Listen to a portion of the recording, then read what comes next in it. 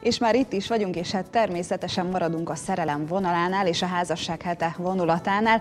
Most például a régi lakodalmi szokásokról fogunk beszélgetni. Pálosné Nagy Rózsával, muzeológussal. Jó estét kívánok! Jó estét kívánok! Örülünk, hogy eljött ide hozzánk a stúdióba. Azért azt el kell mondani, hogy a farsangi időszakban azért nagyon sok volt a, a házasság, de hát most igazából beszéljünk arról, hogy régen milyenek voltak a lakodalmak. Azért nagyon sok hagyomány kötődik ezekhez. Igen, tehát a, általában farsankor, illetve ősszel szokták régen a lakodalmakat megtartani. Ennek gazdasági okai is voltak, ugye nem volt annyi munka, mezőgazdasági munka. Az, a bor a kifort, tehát azt már lehetett a lakodalmakon inni, és, és ezért de hát ahhoz, hogy egy, egy lakodalom, illetve lakodalomig és az esküvőig eljussunk, addig hát elég hosszú az út. A legények, leányok, tehát a, a lányok eladósorba 16 éves korúba kerültek, és 22 éves korukra nem mentek férhez, akkor már öreglánynak számítottak a legények, a fiúk 18 éves korban már, már mehettek lányosházhoz udvarolni, de 24 éves korukban már meg kellett, hogy nősüljenek, igaz, hogy még a katonaságot is ki kellett tölteniük. Tehát régen olyan volt, hogy, hogy a szülők voltak, hogy a szülők megmondták, hogy annak a legénynek kit kell elvenni, tehát a föld a földdel házasodott, később azonban már a szerelmi házasság is bejátszott. Az esküvőkre általában nem szombaton került sor, hanem hétfői napon és szerdán, az urasági cselédeknél viszont vasárnap. De a vasárnapi esküvőt az egyház tiltotta, és a 17. századtól áttették hétfői napra. A 19. század végén, 20. század elején kezdték a szombati napot esküvőkre tartani. A az esküvők, tehát az esküvőt ugye mindig megelőzte, először is a, a lányokat kiválasztották a fiúk, ez történhetett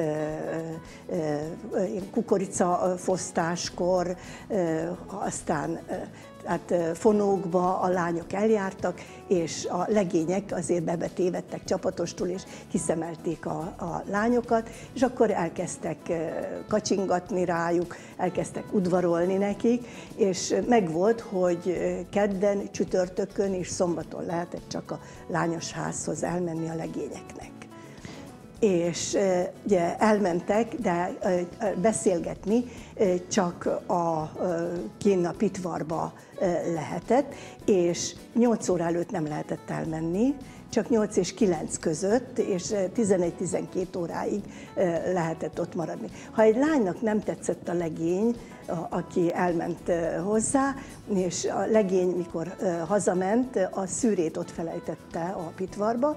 Ha tetszett a lánynak a, a legény, akkor a szűrt bevitte a házba, ha nem tetszett, akkor kiakasztotta a kerítésre, és akkor a legény, amikor visszament, hát látta, hogy van-e szűr, vagy nincs szűr, tehát az, innen van az a mondás, hogy kitették a, a szűrét. szűrét. Tehát akkor abban az időben abszolút a hölgyek döntötték el, hogy, hogy ki az, akit elfogadnak, és ki az, akit nem? Nem egészen, de tehát ahol a szülők nem szóltak bele, ott igen, ott ö, ö, volt az, hogy, hogy a leány esetleg választott pár. Aztán, hogyha ugye már összejöttek szépen a legény meg a leány, akkor hát volt a lánykérés. A fiú elment a, az anyjával, és esetleg még egy, egy rokonnal, elment megkérni a lány kezét. Tehát elmentek, és megmondták, hogy szeretnék feleségül, és akkor utána jött az eljegyzés és az később, az már vacsorával történt, és ezt ilyen kendőváltásnak, jegyváltásnak nevezték, mert a leány ugye jegykendőt adott a, a legénynek, amit szépen kihímezett, és vagy egy ing, inget, amit, aminek a, a galériát is kihímezte, és a, a legény, a gyűrű az először csak, csak a legény adott gyűrűt a leánynak.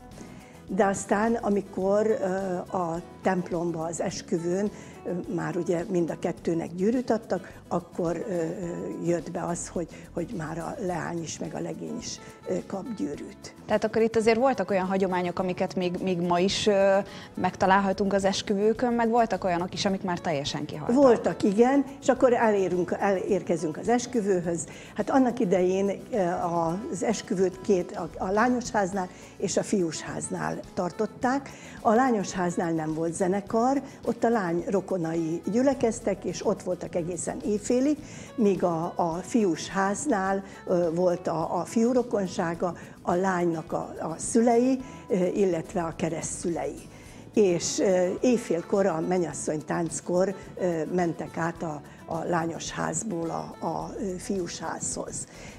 Amikor kijöttek a templomból, de hát előtte nem tudom, lánykérés az ma is megvan.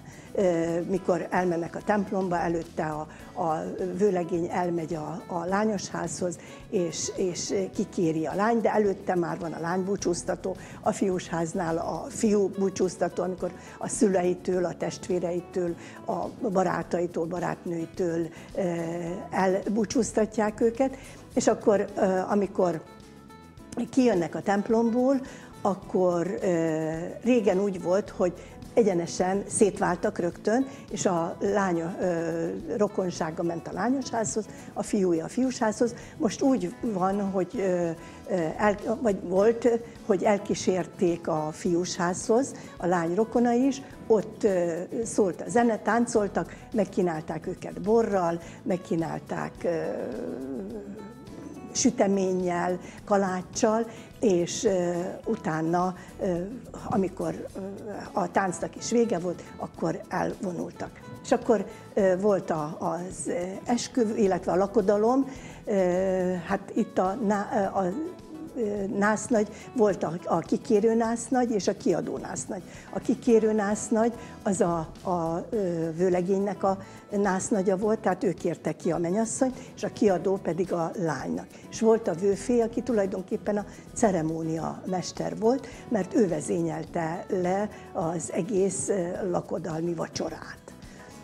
És ha jól tudom, akkor, akkor volt egy olyan szokás, amit egyébként én volt, hogy esküvőn láttam, hogy egy tüzön ugrott át a menyasszony. Olyan is volt, tehát volt először, ugye van a, a menyasszonytánc, ott a menyasszony megtáncoltatják, de csak azt táncoltathatja meg, aki pénzt dob. Pénzt dob és akkor utána, amikor a mennyasszonytáncnak vége, a vőlegény ugye elviszi a mennyasszony, és utána jött a felkontyolás és ott már várták a menyasszonyt, levették róla a mennyasszonyi ruhát, piros vagy piros szegéllyel, szegélyezett ruhát adtak rá, és a haját pedig fölkontyolták, és miközben a haját fésülték, a menyasszony végig sírt.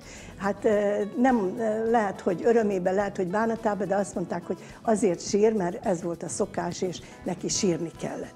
És akkor utána volt még a befejezése az egész lakodalomnak, amikor tüzet e, ugrottak, ezt nevezték menyasszony porkolásnak, ami azt mondták, hogy hát ez a jányszagát elveszi a menyasszonynak, és akkor utána következett, ugye, hogy mentek nászútra. Hát e, akkor még nem volt az, hogy a Kanári-szigetekre, vagy valahová a Bahamákra. Vagy a Bahamákra elmenjenek, hanem a padláson csináltak nekik nagyon klassz kis fészket, mondjuk szalmazsákot tettek le, és leterítették, vagy a kamrába, és akkor kísérték a menyasszonyt vőlegényt a, föl a, a padlásra, ugye fölmentek a létrán, és hogyha a vőlegény, vagy már akkor az ifjú ember nem volt elég fifikás és ügyes, és nem húzta föl rögtön a, a létrát magukhoz, akkor negyed óránként vagy tíz percenként mentek a, a nász nagy, vagy a szülők, hogy hát van-e valamire szükség, kell-e segítség, vagy nem éhesek-e, tehát nem hagyták szegényeket. Vagy volt olyan is, amikor elkapták a, a lentiek a létrát, és akkor vagy két napig nem engedték le az ifjú pár. De azért ételital volt náluk. Ételital volt náluk, úgyhogy nem, nem volt probléma. Hát én ezt a történetet szerintem életem végig el tudnám hallgatni, de hogyha jól tudom, akkor hozott is nekünk valamit. Igen. Még így az utolsó másodpercekre. E, tehát amikor a vőfé a, a minden kajához, ami a, a, a vacsorán van, rigmusokat mond. Azt mondja, hogy például sülteknél. Pecsenyét is hoztam, mégpedig kétfélét behoztam a kakast és melléje ércét. Hogy hogy jutottam hozzá? Szépen elmesélem, hallgassanak meg, hát figyelemmel kérem. Szaladgált a kakas a érce nyomába. Én megfogtam magam, futottam utána. Megcsíptem őket hamar szerencsésen, leöltem és megforráztam szépen. Lábukat szépecskén össze is kötöttem, őket tepsibe belecsömöszöltem. Szép piros-barnára sült ottan a bőrük, lett királynak való pecsenye belőlük. Nyúljanak utána, ízes a falatja, tessék nász nagy uram, bátran kóstolgassa. Hoho, nem tudom, tyúk volt-e vagy kappan, de ettől nász nagy uram fog a koppan. Tessék nász nagy uram, fogyasszák friss jó egészséggel. Vagy a borkínáláskor, szívvidámításra Isten a bort adta, mint a Zsoltárban Szent Dávid mondotta. Azért gazdámnak hordaját kifúrtam, telekancsóborát ide is behoztam. Noszai uraim a borból igyanak, a lakodalomba vígamulassanak. Uraim, a kancsót adják csak szaporán, hozok én bort, hisz nincs lakat a kamrán. Nagyon szépen köszönjük, hogy elhozta ezeket a versikéket. Nekünk ma is nagyon sokat tanultunk. Köszönjük szépen, hogy itt volt. Én is köszönöm, hogy itt lehettem. 20. jubileumi téli hangversenyét rendezte meg a Dobóti Tagovot, a Dobókocka Egészséges Óvodásokért Alapítványa, mint minden évben, ezúttal is a Páca János Katolikus Zeneiskola növendékei és pedagógusai közreműködésével ismerkedhettek meg a kicsik a különféle hangszerekkel. Az óvoda célja az volt, hogy a digitalizált dalokkal teli világban az igazi élőzenével is találkozzanak a gyerekek, a befolyt összegből hallás és ritmusfejlesztő játékokat vásárolnak majd. Megismeritek? Milyen hangzik? Látom, hogy már sokan találkoztatok a hegedűvel. A hegedű a vonós hangszerek közé tartozik, ugyanis tartozik hozzá egy vonó is. És ezzel szólaltatjuk meg, ilyen a hangja. A Pácai János Katolikus Zeneiskola tanára és növendéke mutatja be a hegedűt a Dobóti ovisoknak a téli hangversenyen.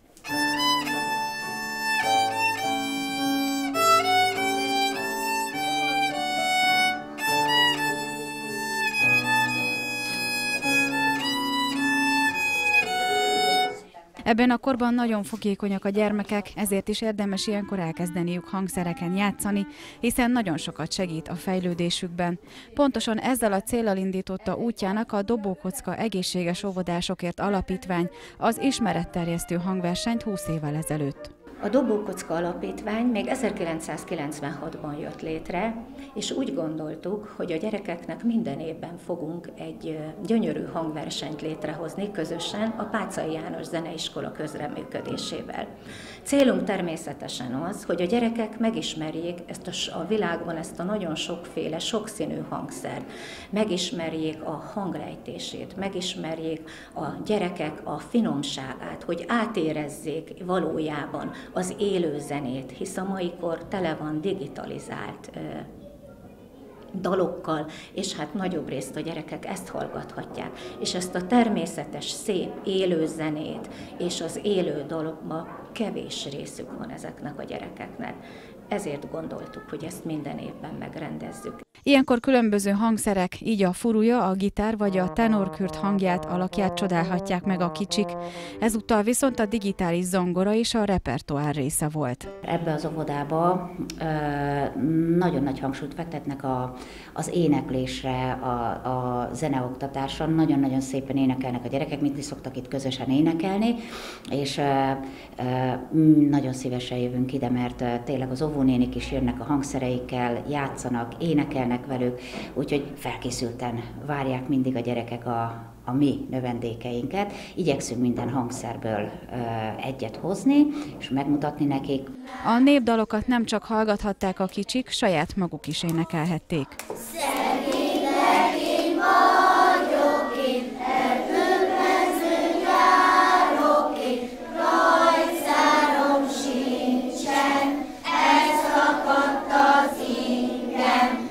Bár a gyerekek digitalizált dalokkal találkozhatnak ma már, azért sok család igyekszik a hagyományoknál maradni, így a jelenlévő ovisok közül többen is játszanak hangszereken. Igen, furuljál meg gitáron. Meglepetésként a pedagógusok is készültek egy összeállítással a kicsiknek.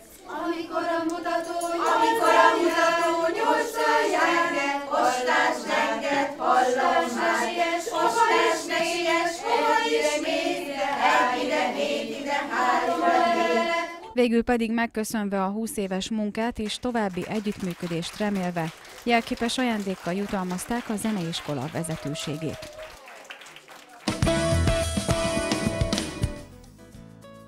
Most elsősorban, de nem csak a férfiakhoz szólunk, aki még esetleg nem tudja, hogy milyen virággal kedveskedjen a párjának, vagy éppen valamely szerettének, annak most mondunk egy pár jó tippet, vendégem pedig ebben természetesen Vince Tünde virágkötő. Szia, jó estét kívánok! Jó estét kívánok! Ismét hoztál nekünk csodaszép virágokat, rettentő jó illatuk van, és hát ezek már azok, amiket egyébként lehet vásárolni is? Tehát, hogy ezek, egy, ezek tipikusan olyan virágok, amiket szoktak vinni? Igen, természetesen.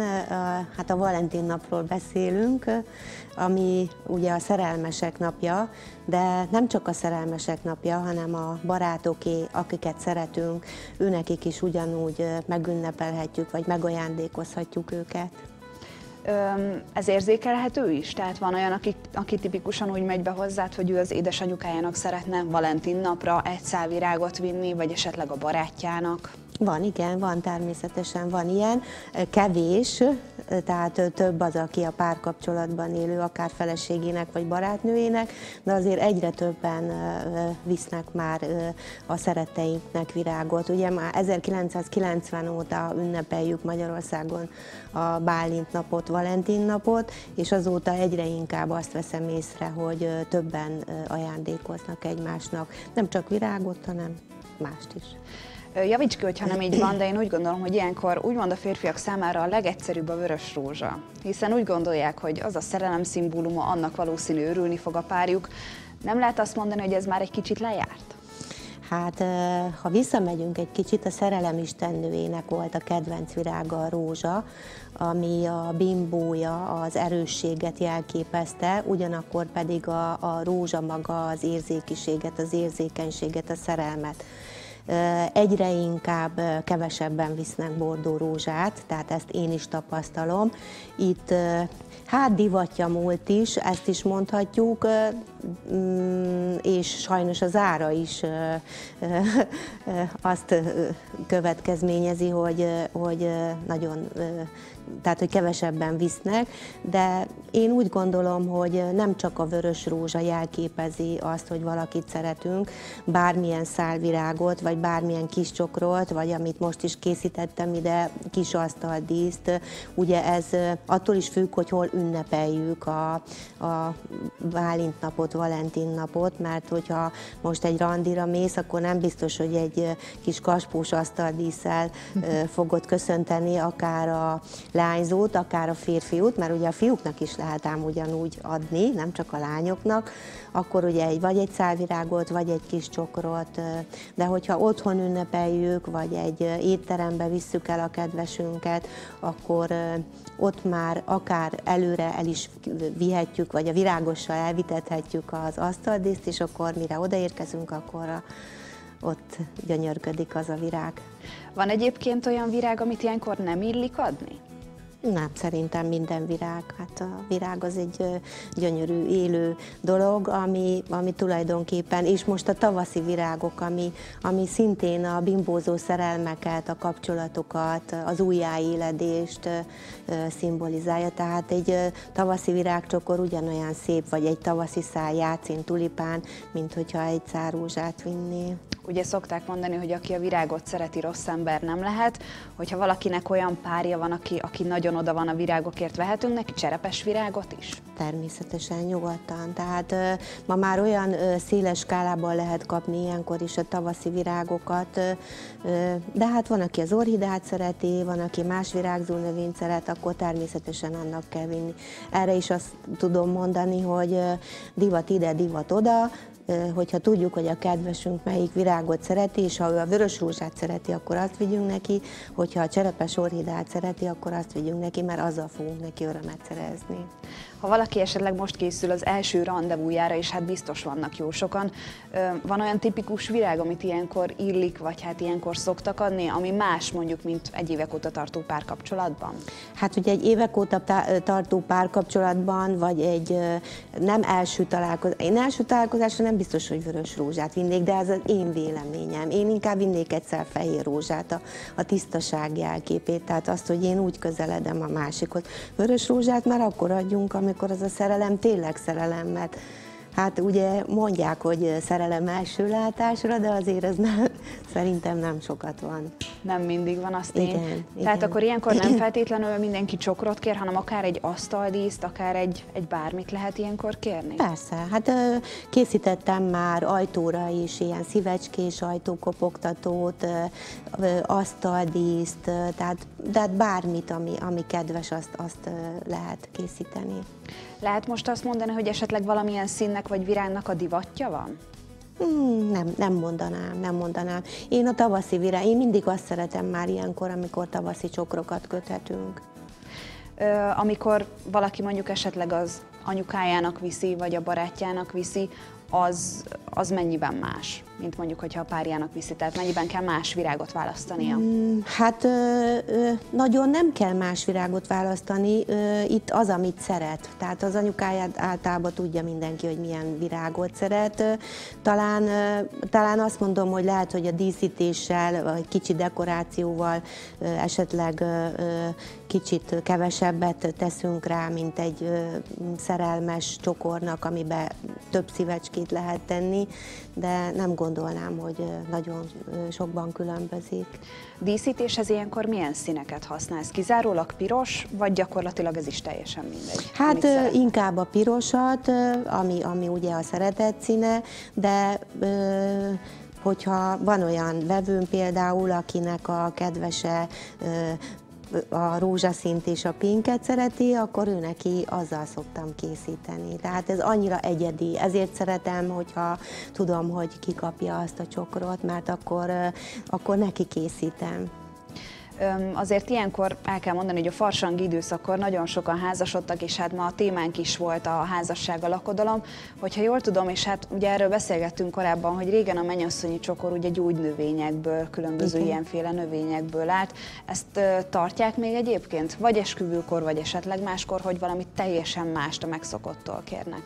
Uh, igen, hát uh, uh, a bátrabbak, inkább azt mondom. Tehát akár szedret, akár ö, picike kis, egy őszi esküvőbe egy dísztököt, vagy egy almácskát, vagy, vagy tehát amikor az egész esküvőnek olyan stílusa van, akkor nyugodtan bele lehet tenni. Ezt, ezt, ezt, ezt most még csak a bátrabbak merik bevállalni, tehát a, a hagyományosabb virágok és csokrok, azok, azok jobban mennek. Bálint napkor és Valentin napkor is elmondható ez, hogy, hogy a hagyományosokat viszik, vagy esetleg ilyenkor is van olyan, aki, aki valami teljesen Hát inkább szeretne. hagyományosabbakat, inkább. Bár most ebbe az asztaldíszbe tettem, és nagyon örültem, hogy tegnap már találtam barkát is, mert ez is már azt szimbolizálja, hogy jön itt a tavasz. a tavasz, jön a jó idő, és lehet szerelmes elandalogni, sétálgatni, úgyhogy azért tettem bele. Hogy gondolod egyébként a virág az egy, az egy örök ajándék Valentin napkor? Nem fogja átvenni semmi sem a helyét? örök ajándék, de pontosan Rózsával beszélgettük odakint, hogy a virágnak nem csak Valentin napkor kellene, hogy részt vegyen az életünkbe, és ezt nem azért mondom, mert virágos vagyok, hanem azért, mert ez olyan, olyan természetes volt régen, hogyha mentünk valahova, ha más nem egy szálvirágot a hölgynek vittünk, vagy például a múltkor készítettem egy eljegyzési kosarat, és hát picit félve, de mindig megpróbálom irányítgatni az embereket és tanítgatni, hogy hát ilyenkor az anyukának is illik vinni egy szálvirágot legalább. Úgyhogy ezt akkor tartsuk szem előtt, hogy ilyenkor ne csak a párunkat, hanem esetleg az édesanyákat is köszöntsük, hát nem csak anyák napjakor igen, kell rájuk gondolni. Igen. Te is hoztál nekünk igen. egy szépséget, halljuk. Igen. Azt adom, mi a legnagyobb, a szívemet mi útra kelt, és felkutatta a tiedet. Rejtsd el, őrizd értem, kedvesem, és tied leszek, és te leszel a mindenem. Hát ez csodaszép volt, mint mindig, amikor jössz, mindig hozol valami csodaszép szösszenetet. És még kapsz még egy valamit tőlem. Egy kis csoki. Egy kis szíves csoki. Jaj, nagyon szépen köszönöm. Mert te is mindig olyan kedves vagy nagyon szépen köszönjük, és azt is, hogy itt voltál, és hogy bemutattad ezeket a gyönyörűségeket. Hát neked is csodaszép Valentin napot kívánok, hogyha ünneplitek, ünneplitek egyébként?